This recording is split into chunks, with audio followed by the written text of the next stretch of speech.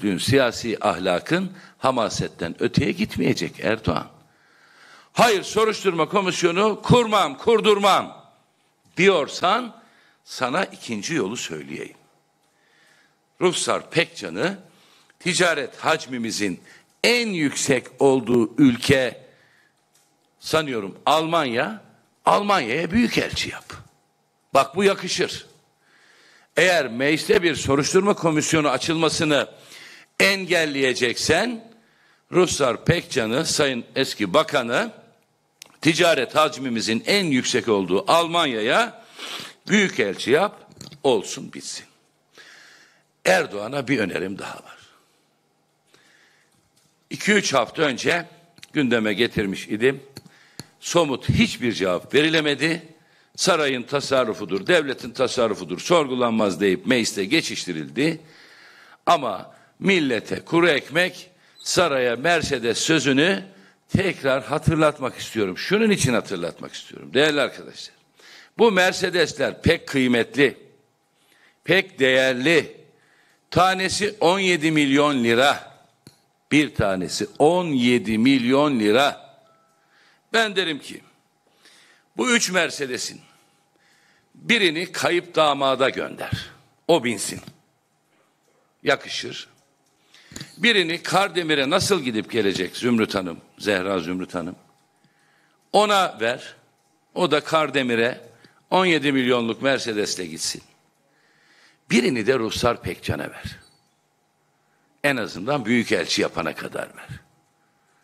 O da rahat rahat işleriyle ilgilenebilsin. Bu da Erdoğan'a bir önerimiz. Ama bakın ekonomi reformları eylem planı değerli arkadaşlar. Ekonomi reformu eylem planı. Bu eylem planının eylem numarası 6.3.b diyor ki kamu görevlilerine başka kurumların yönetim denetim kurullarında en fazla bir görev verilecektir. Eylem planının bitiş tarihi de var. Ne zamana kadar bu iş tamamlanmış olacak? Yani kamu görevlilerine başka kurumlarda yönetim denetim kurullarında en çok bir tane görev alma işi 30 Haziran'da bitmiş olacak. Yazmışın buraya. Peki bu eylem planı kapsamında e, hiç görevinden alınmış bir yönetim kurulu üyesi sen iki yerden maaş alıyorsun şuradan çekil dedikleri bir yönetim kurulu üyesi var mı? Yok. Yok. Ama burada var. Gene bu da hukuk reformu, temel ilkeler, birinci bölüm. Okuyayım size aynen. Dil, ırk, üç nolu başlıkmış bu da. Dil, ırk, renk, cinsiyet, siyasi düşünce, felsefi inanç, din, mezhep benzeri sebepler temelinde hiçbir ayrımcılık söz konusu olmaksızın herkes hukuk önünde eşittir. Şimdi soruyorum. Bu kural Ruslar Pekcan için geçerli mi, değil mi? Bu eylem planınız yürürlükte mi, değil mi? Zonguldak milletvekilimiz Deniz Yavuz Yılmaz genç kardeşimiz karıştırmadık dosya evrak bırakmadı. Kamu görevlilerinin üst, üst düzey kamu görevlilerinin ortalama maaşın 56 bin liraya geldiğine varıncaya kadar belgelerle kamuoyuyla bunu paylaştı. Ya sizde hiç utanma yok mu? Millete tumturaklı eylem planı sunarsınız. Millete tumturaklı adalet reform belgesi sunarsınız. Ama bütün bunlar kağıt üstünde kalır. Değerli arkadaşlar, devleti soymanın 12 yolu var. Devleti soymanın 12 modeli var. Devleti soymanın 12 şekli var. Ne zamandan beri? 2002'den beri. 2002'den önce devlet soyulmuyor muydu derseniz soyuluyordu. O zaman bu işin üç yolu vardı. Dördüncü yolu yoktu. O zaman bu iş için devleti soymak için üç yol şuydu. Bir, hayali ihracat. Hepimizin mesela Mustafa abinin hafızasındadır yaşı itibariyle. İki, teşvik vurgunları. Üç, rüşvet. Rüşvet tabi insanlık tarihi kadar eski. Türkiye'de devlet bu üç yolla soyuluyordu. AK Parti'den sonra buna dokuz yeni yol ve metot eklendi. Dördüncü yol Gümrük, gümrük vergilerinde anlık oynayarak devleti soyma yolu. Gemi Akdeniz'de beklerken bir genelgeyle bir malın gümrüğünü düşürüyorsun. Gemi giriyor, malı boşaltıyor. Gemi çıkınca tekrar onu kaldırıyorsun. Beşinci yol kupon araziler. Kulakları çınlasın. Bülent Arınç'ın da çok müşteki olduğu bir iştir. Kupon arazilerle devleti soyma yolu. Altıncı yol kıyak ihaleler.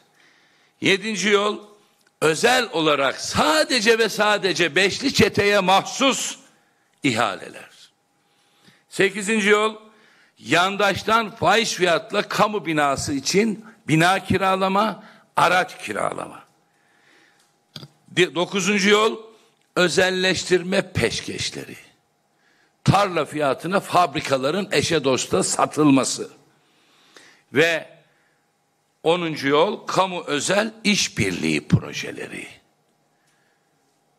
Döviz garantili, ödeme garantili, geçiş garantili, yatma garantili, yürüme garantili ihaleler. Ve yap işlet devlet projeleri. Ve son yol kur manipülasyonu ile Merkez Bankası'nın kasasını eşe dosta yandaşa peşkeş çekip bir gecede türedi zenginler yaratma yoluyla devletin soyulması. Bunları niye söylüyorum? Bunları şunun için söylüyorum. Tablo vahim. Devlet soyuluyor. 12 ayrı yol ile devlet soyulurken Türkiye'nin çalışanları aç kuru ekmeğe muhtaç. Türkiye'nin esnafı borç batağında. Gün geçmiyor ki geçim derdinden dolayı insanların intihar ettiği ile ilgili bir haber duymayalım. Çiftçinin daha önce de söyledim traktörü hacizde, ahırdaki öküzü hacizde ve çiftçinin mal mahsulü ya tarlada ya çöpte çürüyor. Öğrencilerimiz internetsiz ve çaresiz. Ama biraz önce saydığım 12 ayrı yolla da bu devlet soyulmaya devam ediyor. Peki sıcak olarak, can yakıcı olarak bir iki rakam vermek gerekirse icra dairelerindeki dosya sayısı icra dairelerinde bir önceki yıla göre sadece bir önceki yıla göre 1 milyon 394 bin artmış. Dosyanın sayısı. Yani bugün Türkiye'de 21 milyon 992 bin icra dosyası var. Karşılıksız çek sayısı bir önceki yıla göre yüzde 41.2 artmış. Çiftçilerin bankalara borcu 140 milyarı aşmış.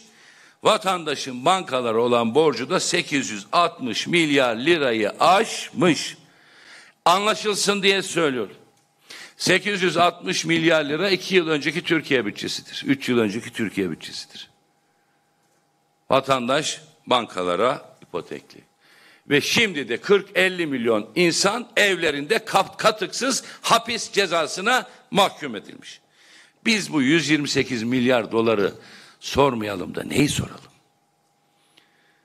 Dilimizde tüy bitti. Dün sayın genel başkanlar birbirlerine sordular. Ben Lütfü Türkkan'a Musavat Dervişoğlu'na sordum. Bugün de Özgür Özel'le Engin Özkoç'u arayıp bir daha soracağım. Bir haber var mı diye soracağım. Herkesin de sormasını istiyoruz kardeşim. Devletin parası, milletin parası. 128 milyar tane 5 lira.